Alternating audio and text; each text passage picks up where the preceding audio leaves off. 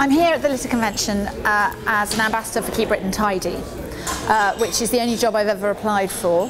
And I've been doing it for about 18 months now. And I really feel incredibly passionate about litter.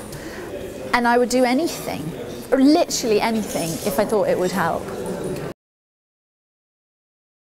One of the things that's being launched today is the new tag, the new campaign line, which is Love Where You Live. And that really, really sums it up. We all have a right to be able to love where we live.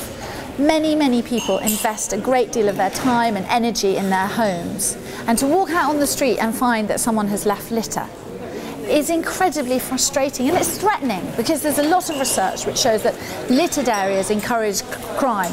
You are simply more likely to break into a car or take someone's handbag in a littered area because people assume you're less likely to get caught. The number one message is, is really love where you live and take back your street. It's your street, it doesn't belong to the litter louts, it doesn't belong to the people who don't bother. Claim your piece of pavement if you live in a flat, get together with the other people in the building. If you live in a house, that's your bit of pavement. Keep it clean, talk to your neighbours on either side.